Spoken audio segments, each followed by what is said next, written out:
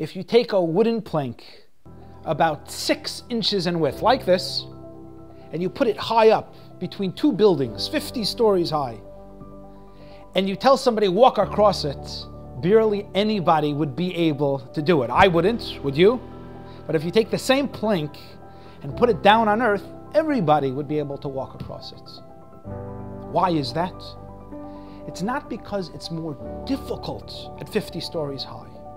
It's because at 50 stories high, we envision failure and defeat. And when you envision falling, you will fall. And so Hanukkah calls on the Jew dream big and high, envision great success.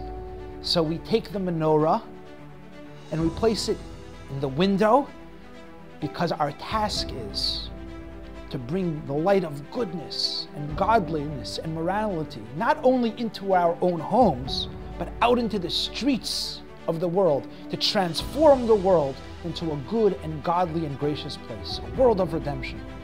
Hanukkah calls on us in our individual lives to walk that plank 50 stories high, to dream big, and it calls on the Jews collectively to dream of changing the world entire, to making it a home for God.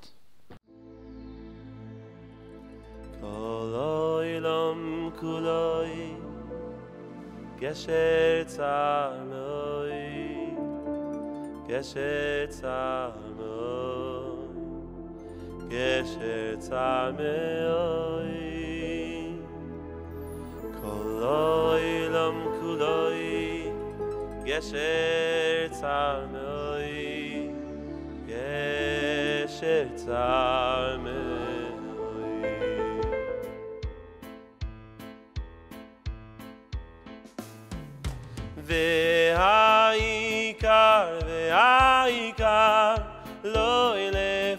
לפחד, לא לפחד כלל, והעיקר, והעיקר, לא לפחד כלל.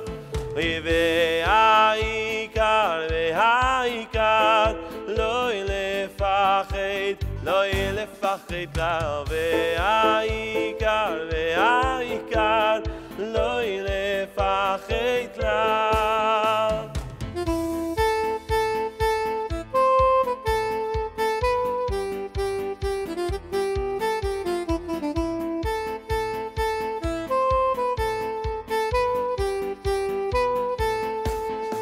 mai ve ay kar ve ay kar lo ile fakhet lo ile fakhet la ve ay kar ve ay kar lo ile fakhet